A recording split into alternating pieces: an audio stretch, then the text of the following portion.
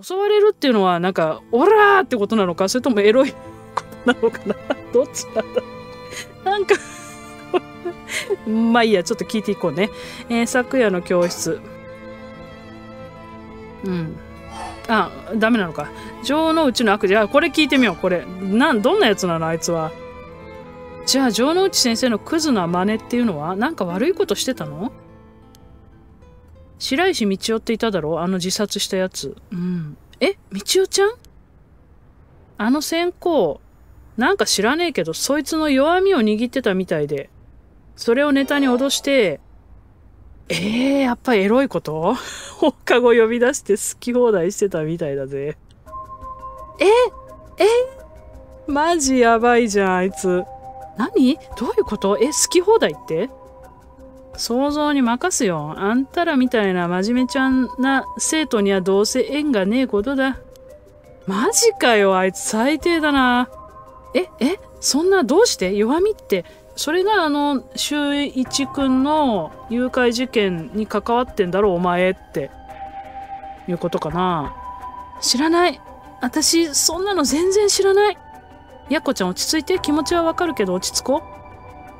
あんたダチ気取ってたくせにいい気なもんだな。そう言ってやるなって。白石はあの線香のせいでずっと体も心もズタボロだったんだよ。やっぱエロいやつだったか、あいつ。くそー。うかわいそうだな。誰にも言えずに絶望しかなかったろうな。んな、許せない。奥田さんはどうしてそのことを？別にただ偶然その現場に居合わせたってだけだよ。あの学校で人目につかない場所は大体知ってるからな。私が、何してんだてめえって怒鳴ったら、あの先行慌てて逃げていったよ。現場。かわいそう、みちおちゃん。優しいじゃん、瞳。その後白石はずっと半べそ書いてたから放っておけなくてしばらくそばにいたら、ボソボソとそういう事情を教えてくれたってわけ。私なら言いふらすことはないって思ったみたいだな。ただ、助けてくれとは言ってこなかった。私なら大丈夫だから秘密にしといてって。みちおちゃん、どうして？白石は黙って我慢してればいつか収まるもんだと思ってたみたいだけどよ。あめよ。ああいう連中は黙ってたら図に乗るだけだ。私もそう言ったけど。これはきっと罰だからって。どうしようもねえ、アマちゃんだよ、あいつ。そんな。あいつよ。まあ、先行も案の定、それ以降も懲りずに続けてたって話だ。どっちも意味わかんねえ。私が関わったのはそんだけだ。それで結局自殺してんだろ？世話ねえよ。まあそういう言い方すんなって。福田さん、あなたそのことを知ってたのに。あ？私が悪いっての？あいつ自身が言うなって言ったんだ、言ってたんだ。大丈夫だって言ってたんだよ。だったらそれ以上私が構う義理なんてねえだろやっこちゃん、奥田さんを責めても仕方ないよ。そうだよ。うぅ、みちおちゃん、どうして？ひでえな、あいつよ。じゃ、こっちき聞いてみようか。みちおちゃんの弱みっていうのは聞いてる？さあな、そこまでは聞いてねえけど。天候の脅迫が始まったのは1年くらい前からだって話だぜ。そんな前からずっと？まあ何かしらやらかしたところをあの先行にバレたんだろうな。おとなしそうに見えて人は見かけによらねえもんだ。きっと事情があったんだよ。さあな、私にはどうでもいいことだ。じゃあこれ。で、夕べの話だ。事の発端は、そうだね。まず少し、さっき少し話したおせっかいなポリってのが、数日前に旧安田庭園で死んじまった、死んじまってたよしみってやつなんだけどさ、全然札には見えねえ野蛮な野郎なんだが、やたら面倒見がいいんで、そいつとだけはなぜか話せて。そっか、そんな人がいたんだ。死んじまったのはまあ、しゃあねえと思うけど。あ、そうだ、婚約者だって女を突然紹介されたこともあってよ。そいつの前ではあの男がタジタジなのが傑作だったな。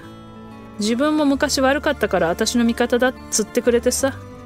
そうなんだ、その人にも気の毒だね。ああ、あの人が悲しんでると思うとチートばかし悔しい気持ちになるな。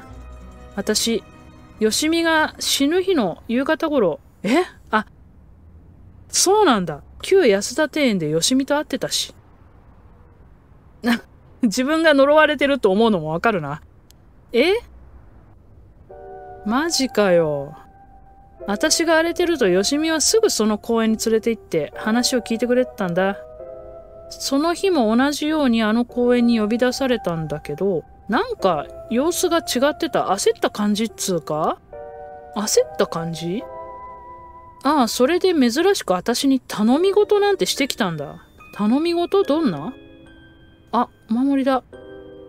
まず古くせえお守りを渡されてこれを預かっといてくれってことだった。お守り？ああ、なんか薄汚れたお守りだったよ。そのくらいならって受け取った。今も肌身離さず持ち歩いてるよ。それからさらに、白石道夫が持っていたこれと似たもう一つのお守りも探してほしいって。え？道夫ちゃん？なんで道夫ちゃんが出てくるの？あの、よしみってポリは白石とも会って話をしてたんだとよ。そこで接している間になんか特殊なお守りを持ってることに気づいたみてえだが、白石本人からは避けられてて、何も話してもらえなかったらしいな。道夫ちゃんが持ってたお守り？で、私が白石道夫と面識あると知って頼んできたらしい。白石さん、警察の人にも相談できない事情があったの？お家もちょっと複雑だったからね、あの子。白石は先行にされてたことも何も言わずに黙ってたらしい。そりゃ言いにくいだろんなこと。まして自分に弱みがあるんじゃ、殺にはな。だから私も白石のことは何も明かさなかった。みちおちゃん、何があなたをそんなに縛り付けてたの？つまりだ。よしみは白石道夫のことだけじゃなく、そいつが持ってたお守りも気にしていた。しかし白石が死んじまったから、その行方がわからなくなった。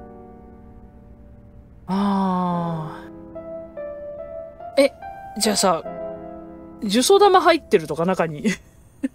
違うかな？だから同じ学校で面識のあった私にそれを探し出してほしいってことだった。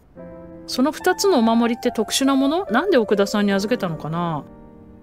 板切れ。さあな中を見たら薄汚い変な板切れが入ってるだけだったけど。あ見たんだ。でもあのよしみの態度からするとなんか重要な代物っぽかったけどな。正直そんなめんどくせえ頼みなんて冗談じゃねえって思ってたんだけどよ。ああ、その後によしみさんが死んじゃったから？まあな、しかもご丁寧に。もしこの先俺の身に何かあったらその二つのお守りを。あ。あ、警視庁の中越ってやつに渡してくれなんてことを言われてたからよ。みおちゃんの師匠上司では。今にして思えばよしみは自分の身に何かある予感があったんだろうな。え、中越？ん？みおちゃん知ってるの？あ、いや、なんとなく 聞いたことあるような。ふーん、本当にいるんだ。じゃあそこは安心した。とにかく死んじまったやつからの頼み事じゃ無下にできねえって思ったわけだ、こっちも。ほーん。奥田さん。ん？そうね。ちょっと見たいね。そのお守りってちょっと見せてもらってもいい？悪いけど、まだあんたらをそこまで信用できてないから。あ、そっか。今の私にとってはそのくらい大事なものなんでね。うー、そっか。そっか、それはダメか。これはじゃあ昨夜、奥田さんは白石さんが持っていたお守りを探して？ああ。で、私が知ってる白石と今深い関係にある人物はまず先行だった。うん。昨日の昼間、学校で先行に白石のお守りに心当たりがないか聞いたら、今は話せないから夜中にこっそり学校に来いとか意味不明なことを抜かしてよ。なんだあいつは。ご丁寧に学校の裏門の鍵の番号まで教えてくれたよ。手慣れてたからこれまでもちょいちょい密会に使ってたんだろうな。もう、最悪だな、あいつ。私のファーストインプレッション当たってたな。うー、なんか生々しい話。私たち正門を乗り越えて入ったけど、そんな方法が。で、夜中に教室であったわけだがなんか話の要領を得ない状態が続いててよさてはお前本当は白石だなとかわけわからんことを言い出してお前さえいなければお前が悪いんだみたいなことを口走りながら私を無理やり押さえつけて息を荒くしながら迫ってきたんだ。もうやだエロ親父。ひだ大丈夫だったの？あちょうどそのタイミングで暗い教室にあんたらが入ってきたからやっぱり。エロいことをしようとしてたのか。それで先行がビビってるうちに私はとんずらしたってわけだ。うわそうだったんだ。危なかったね。だからまああんたらのおかげで助かったよ。ありがとな。ただお守りの情報は何も得られなかったから骨折り損だったけどよ。その後もあんたらの行動が気になったんで学校の近くには潜んでたけどな。だから坂崎とおっさんああこれほら足宮。ねじま。おっさんが話してるのとか黒鈴が後から出てくるのも見てたよ。マジか。あそうなんだ。そしたら先行が出てきてくたばるとこも見ちまったってわけだ。なるほど。奥田さんは白石さんのお守りを探してたってわけだね。まだある。先行の誘いに素直に応じちまったのは自分でも軽率だったと思ってるよ。無事で済んだのはラッキーだった。城之内の死。城之内先生は白石さんに殺されるみたいなことを言っていたようだけど実際白石さんが城之内先生のことを恨む理由はあったってことだよね。まさか本当に化けて出たとかそういうことあんのか？強い恨みや未練を抱いて死んだ人が自爆霊とか浮遊霊になる可能性は確かにあるけどただ聖者を呪い殺すとか普通は無理。一般人の霊じゃそこまでの力はないから。でもその無念を強く訴えたいがために近しい人に取り付いたりすることはあるかも。あーなるほど。でさしかもなんかそのみちおちゃんの家もさそのよしみの家もなんだけどなんかちょっといわくありげなんだよね。なんかもしかしたら霊感がちょっと強い家系だったり。へえそんなもんかね。じゃあもしみちおちゃんがこっくりさんの言う通り不慮の事故死だったとしたらきっとそれなりに無念はあったよね。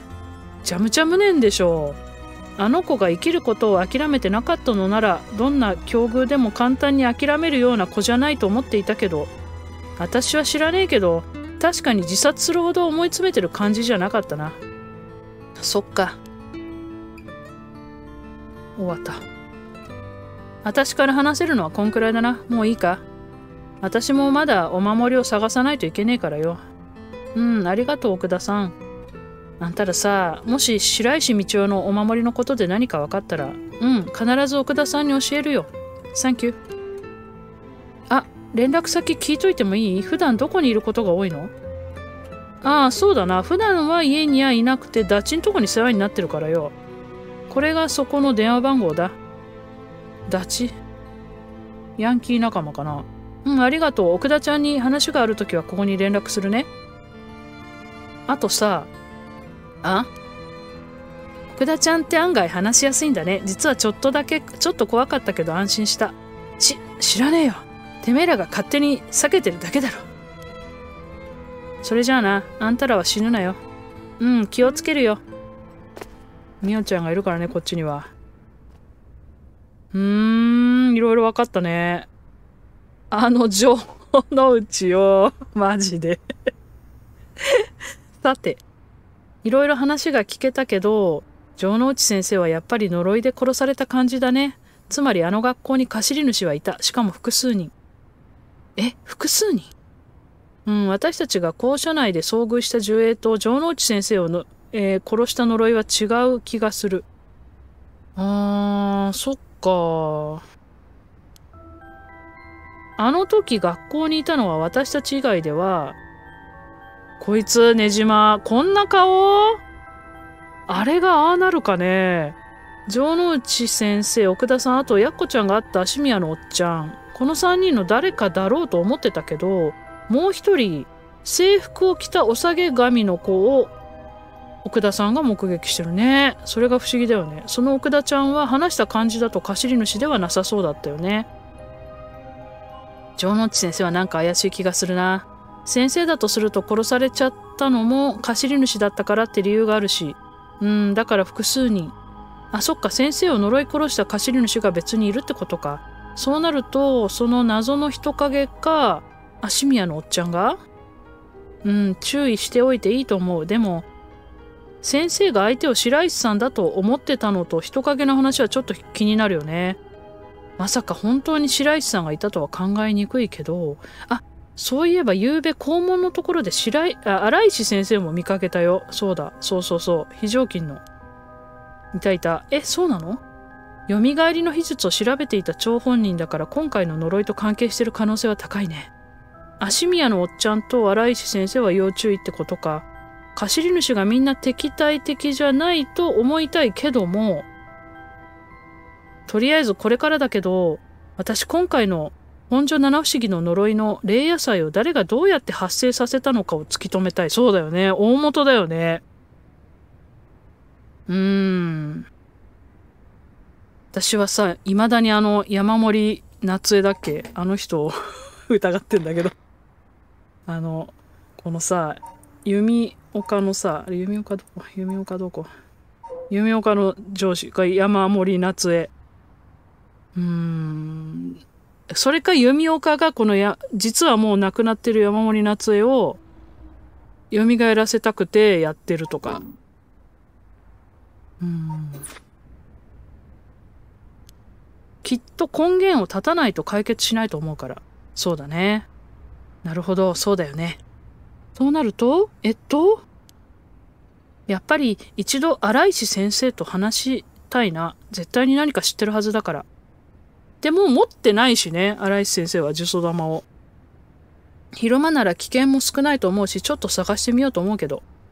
うん、わかった。手伝うよ。でも休校になっちゃったからな。先生どこにいるんだろう。知ってそうな人がいるとこ当たってみようか。うん、じゃあどこ行けばいいかな。ほっいっぱい出てきた。えー、どうしよう。知ってそう 人がいるとこ？あああ今、高校、あ、でも高校じゃないのか。今、橋にいるのかな。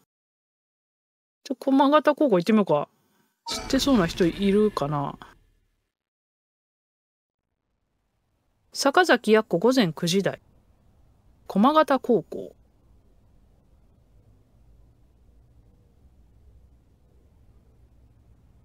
こうして、この時間、黒鈴美代と坂崎やっこの二人はこの場所を捜索することに決めたのでありました。誰？これ言ってる人。案内人？あ、終わった。